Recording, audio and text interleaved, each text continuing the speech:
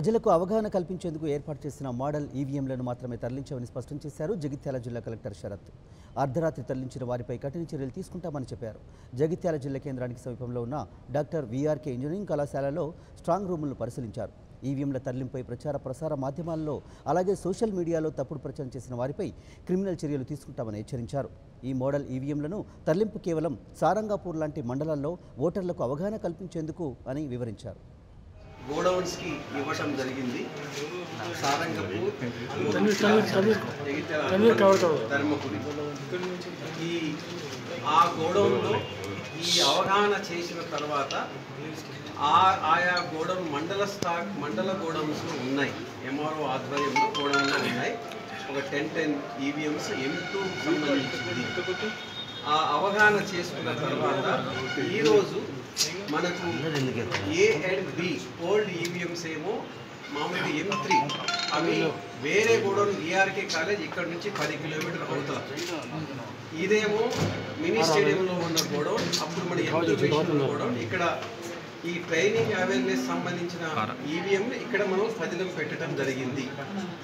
ఈ రోజు వాటిని షిఫ్ట్ చేయటానికి డైరెక్షన్స్ ప్రకారం రాష్ట్ర గోడౌన్కి షిఫ్ట్ చేయడానికి మనం ఈరోజు ఇక్కడ నిన్ననే ఆర్డర్స్ వచ్చినాయి షిఫ్ట్ చేయాలని చెప్పి.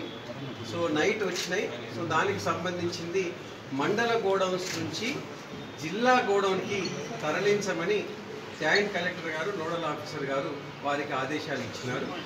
దానిలో భాగంగా మరి మండల గోడౌన్స్ నుంచి జిల్లా గోడౌన్కి నిన్న ఈవినింగ్ ఇక్కడ తెచ్చినారు.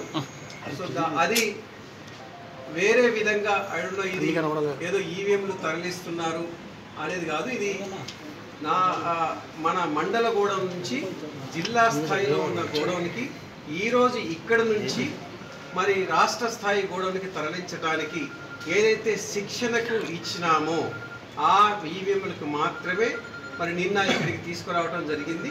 సో దానిలో భాగంగా మనిషి తరలించారు తప్ప వేరే ఉద్దేశం లేదు దీంట్లో. అది దీని మీద ఎవరు ఈ విధంగా ప్రచారం చేసినారు వాటి మీద కూడా క్రిమినల్ కేసెస్ లాంచ్ చేస్తాం. ఫుల్ ఫ్లెడ్జ్డ్ ఎంక్వైరీ జరుగుతుంది.